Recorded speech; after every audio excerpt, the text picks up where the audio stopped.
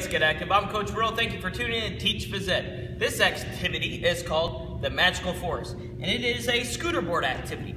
And we are going to take our students and we have them go from sideline to sideline. And to start out with, we do this with kindergarten and first grade to get them to understand how to move on the scooters. And we scatter a bunch of uh, cones and uh, domes all, all around the gym. And basically, the scooter, the kids on the scooters are going to go across the gym without bumping into one of these. These are called the poisonous trees. Okay, so they don't want to bump in or run into any of the poisonous trees.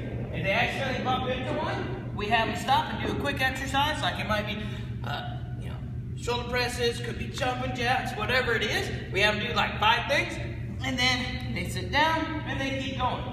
When they get to the other side, they're going to turn around and go back.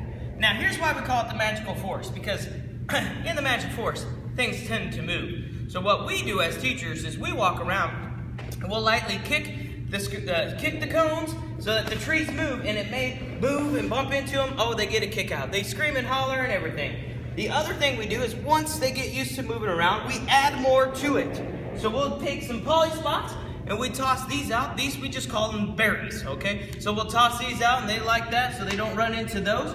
And we also use the big ones as poisonous leaves as well. We toss those out so they don't have to run in those. We've used the critters before. We've used tall cones, all kinds of crazy stuff.